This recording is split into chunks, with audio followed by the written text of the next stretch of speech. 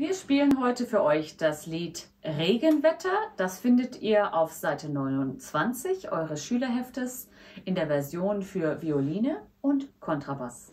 Ich starte das Metronom auf Tempo 80 und zähle vier Viertel ein. Genau, und wir wiederholen das Ganze einmal. Den ersten Durchgang spielen wir Pizzicato und den zweiten Durchgang spielen wir Arco. Da nehmen wir unseren Bogen.